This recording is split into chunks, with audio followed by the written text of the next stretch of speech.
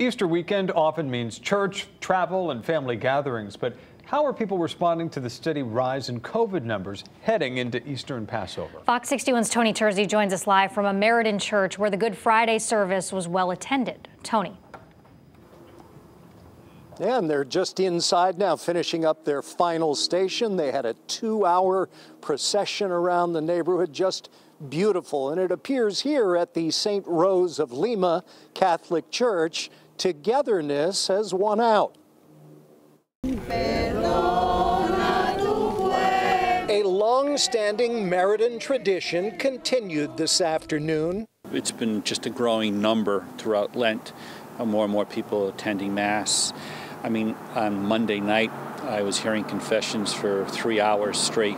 Father James Manship said that while the Archdiocese of Hartford does not mandate masking, his church encourages it. It's uh, just the new normal, and it's uh, really kind of caring for each other. St. Rose of Lima is roughly 70% Hispanic parishioners. And I think statistically, or in the studies, that uh, Hispanic Catholics, amongst Hispanics, are some of the highest vaccinated uh, in the population.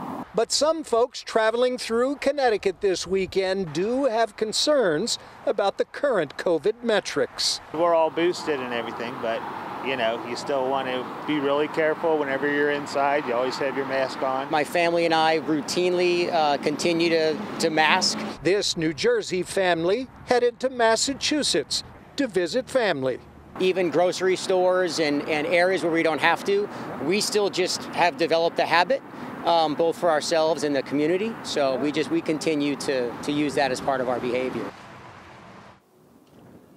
Now, next hour on the Fox 61 News at 5, live from St. Rose of Lima Church here in Meriden.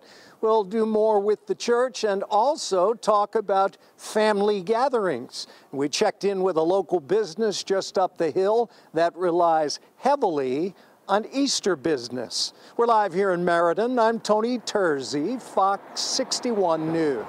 All right, Tony, thank you very much.